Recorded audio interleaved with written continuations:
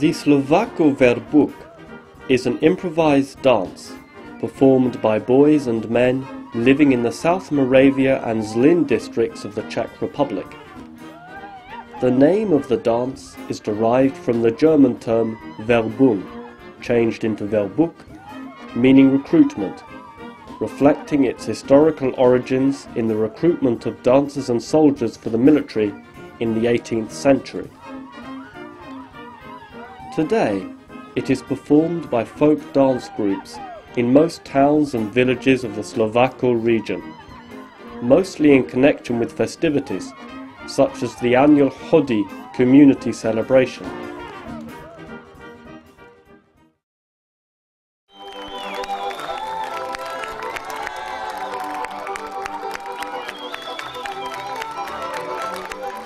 There are six different regional types of Slovacko Verbunk, which account for the great variety of figures and dance rhythms.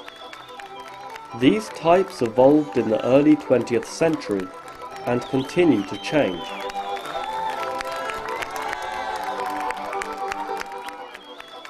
The dances are an essential component of local customs, ceremonies and celebrations and are performed at the annual contest of the best dancer at the International Folklore Festival in Strážnice.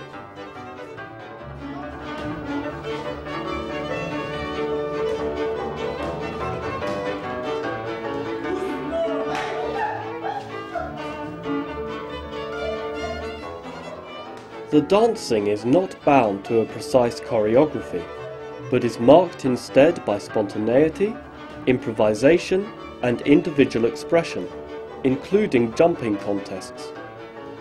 It is usually performed by groups, with each dancer interpreting the music in his own way.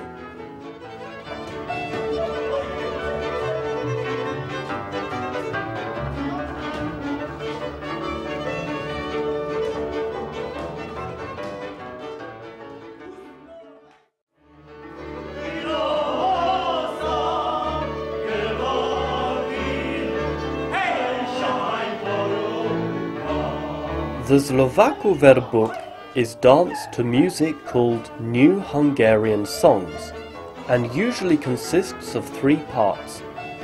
At the beginning, a song is performed, followed then by slow movements and finally by faster dancing parts.